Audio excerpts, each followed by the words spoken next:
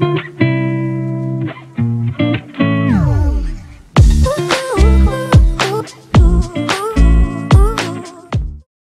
Sevgili 5. sınıf öğrencilerimiz hepiniz hoş geldiniz. Bugün sizlerle birlikte 5. sınıf Bilişim Teknolojileri dersi 1. dönem 2. yazılı sorularıyla karşınızdayız. Sorularımıza başlamadan önce küçük bir hatırlatma yapayım. Bu yazının pdf'ini alt taraftaki açıklama kısmından ulaşabilirsiniz. Bildiğiniz üzere bu sene açık uçlu sorular geliyor ve Milli Eğitim Bakanlığı'na uygun açık uçlu sorular sizin için hazırladık. Birinci sorumuza bakalım. Yukarıda bıyıklı ve kuyruk bahsetmiş oldukları A türleri sırasıyla yazınız. Şimdi bıyıklı ve kuyruk olmak üzere iki tane karakterimiz var. Bıyıklı demiş ki bıyıklı odasındaki ve binasındaki kedilere ulaşmak için kullandığı A türüdür.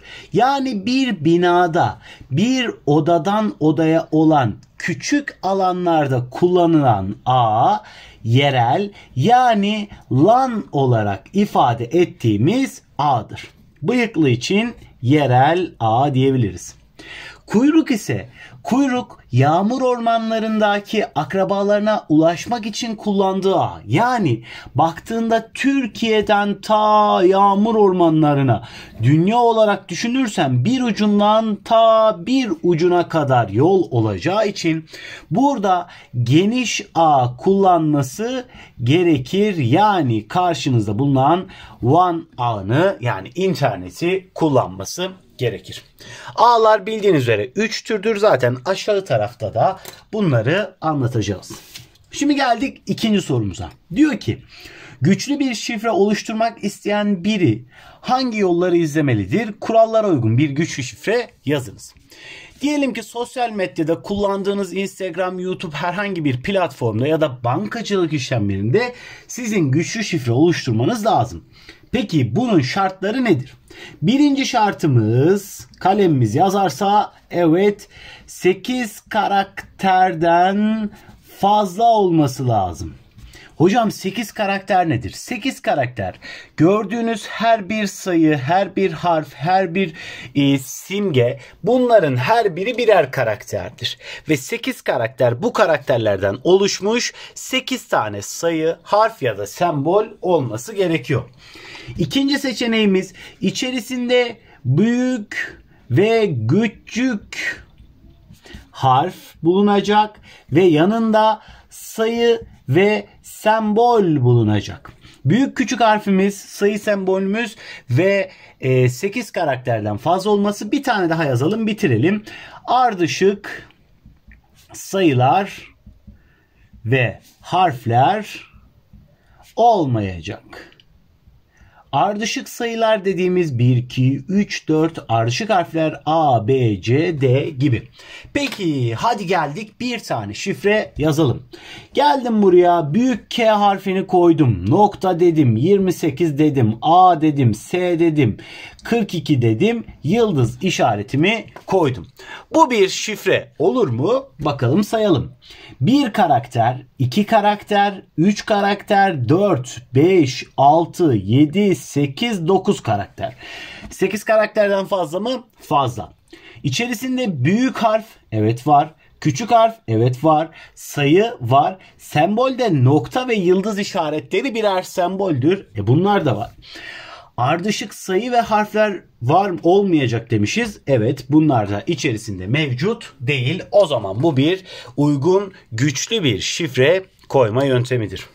Şimdi üçüncü sorumuza baktık. Diyor ki bir kişi ya da kişilerin her türlü fikri emeği ile meydana getirdiği bilgi, düşünce ve sanat eseri ve ürün kullanılması ve kopyalanmasıyla ilgili hukuken sağlanan hakların hepsidir.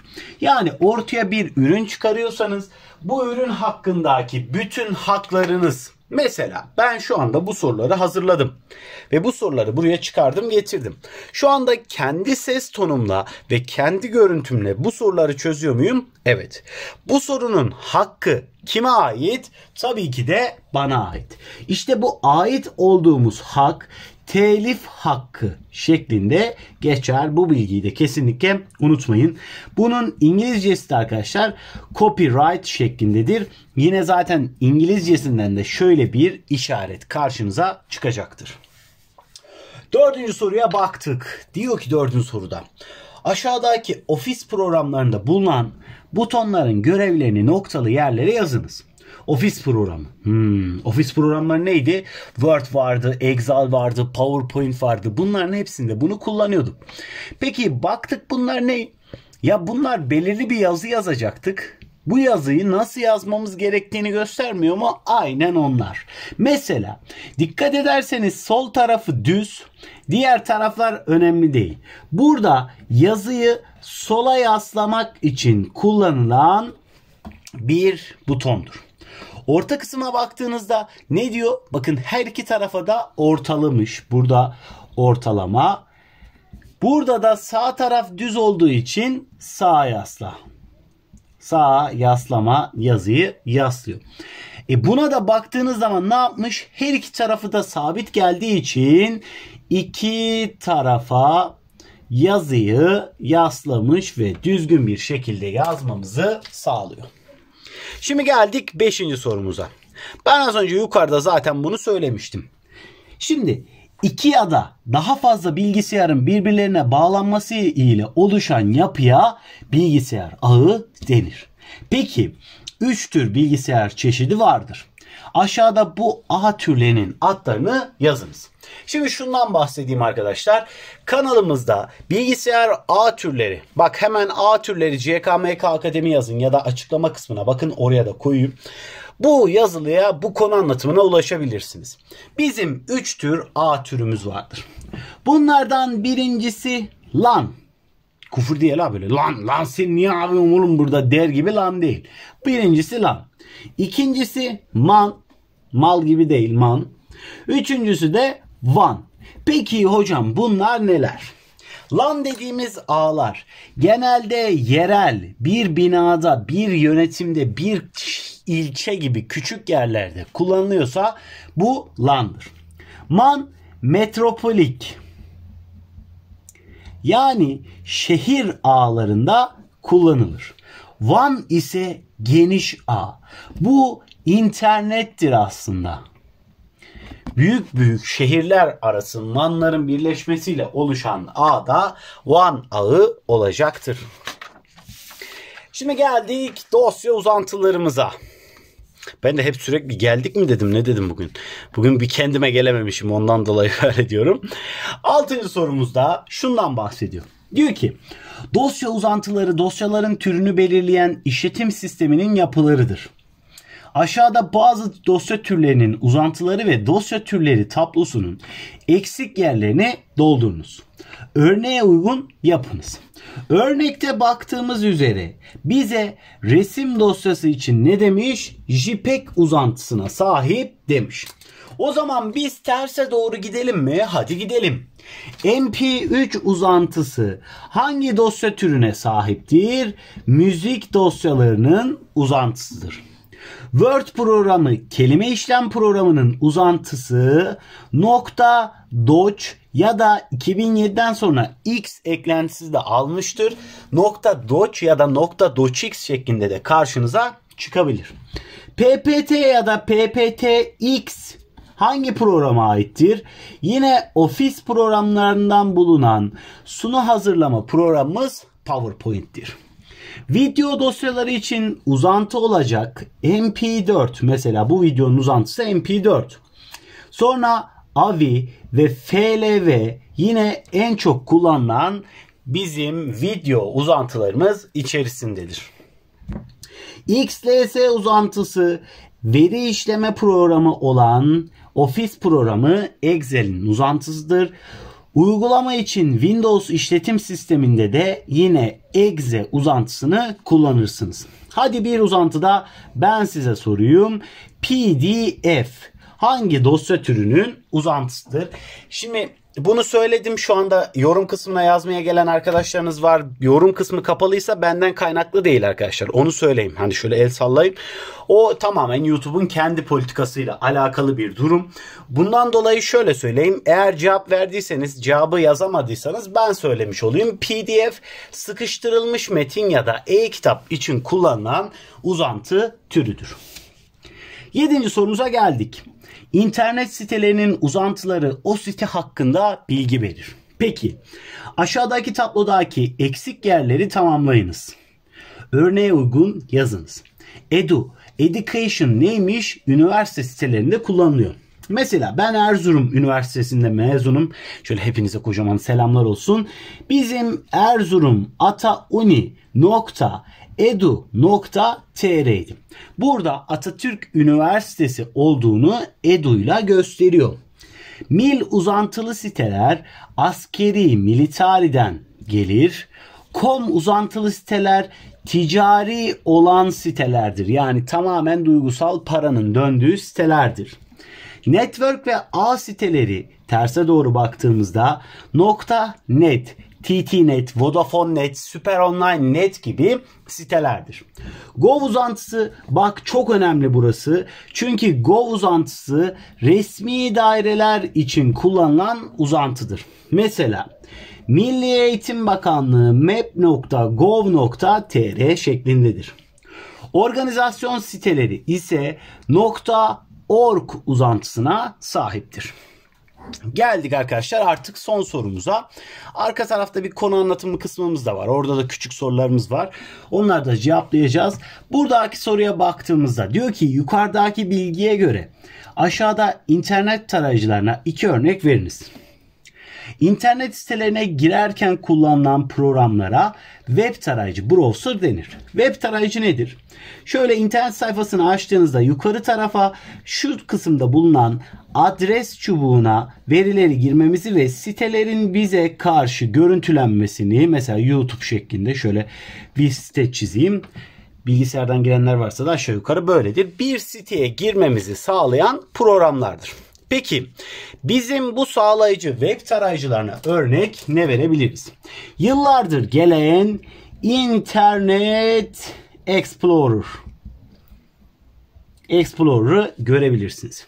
Son zamanlarda en meşhur olanlardan biri Google Chrome olacaktır. Yine Mozilla'dan da Mozilla'dan da Fire Works'ü de yazabiliriz. Bir de son olarak mesela Safari ya da Opera'yı da söyleyebiliriz. Şimdi geldik arkadaşlar arka tarafta hani dedim ya küçük bir konu anlatımımız olacak. Burada Word'un giriş kısmında bulunan menüleri ve kısa yol tuşlarını anlatacağım size. Öncelikli olarak kısa yol tuşlarından başlayalım. İlk kısa yolumuz Windows tuşuyla birlikte P tuşu ekran bağlantı ayarları, ekran bağlantı ayarlarına girmemizi sağlar. Mesela bilgisayarımıza bir projeksiyon bağladık. Tak buradan yaparız. Bilgisayarımızı televizyona bağladık. Buradan yaparız. Windows L ise bize kilit ekranına girmemizi sağlar. CTRL X makasa da benzer biraz buradan da aklınızda bulunsun. Kesme işlemi yapar. CTRL C copy'den gelir zaten. Kopyalama işlemimizi yapar. CTRL Find arama ve bulma işlemleri için kullanırız. CTRL V yapıştır. Bak bunları kesinlikle ezberleyin. CTRL Z geri al. Bu yaşıma geldim ben halen kullanıyorum. CTRL Y ileri al. CTRL N İngilizce new kelimesinden gelir. Yeni dosya açmak için kullanılır. Alt tab tuşuna bastığınız zaman açık sayfalar arası geçiş yapmamızı sağlar. CTRL ise kaydetme işlemimizi yapabiliriz. Shift delete kalıcı siler. Kalıcı siler. CTRL P printer'dan gelir yazdırma işlemi yapar. CTRL O open'dan gelir yani dosyayı açmak için kullanılır. Alt F4 kapatmak için kullanılır. CTRL Alt Delete de görev yöneticisi girmemizi sağlar. Tabii bu değişiklik göstermiştir son dönemlerde ama asıl amacı budur. Şimdi geldik Word kısmının, Word programının giriş bölümüne.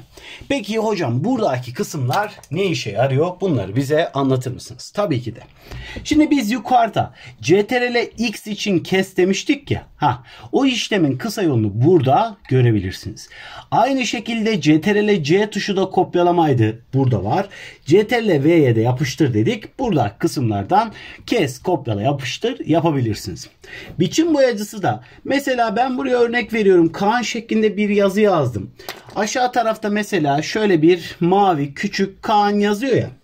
Bunu buradaki pembe biçimini buraya aktarmak istiyorsam burayı seçiyorum. Biçim boyasına tıklıyorum. Burayı seçtiğim anda aynı biçimi buraya uygulamış oluyorum. Kalibre kısmı yazı tipidir. Yazı büyüklüğü, yazı büyüklüğünü göz kararı büyütüp ve küçültme işlemleri buradan şu iki butondan yapabilirsiniz. Kalın, bak K kalın, T italik, A altı çizili. Kenarlık eklememizi sağlar yazının tamamını boyamamızı, arka planını boyamamızı sağlar. Yazının rengini değiştirmek istiyorsak buradaki A'nın altındaki boyalı tuşa tıklamamız gerekiyor. Burada da yine yukarı yasla, ortala, aşağı yasla, sola, ortala, sağa yasla zaten anlatmıştık. Hatta şöyle söyleyeyim bu bir Word programı değilmiş arkadaşlar. Şu anda gördüm. Bu bir Excel programıymış ama aşağı yukarı hepsinde de aynı menüleri görebilirsiniz.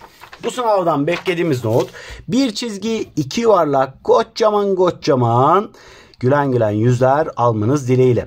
Bir sonraki ders görüşmek üzere. Kendinize iyi bakın. Hoşçakalın. Thank you.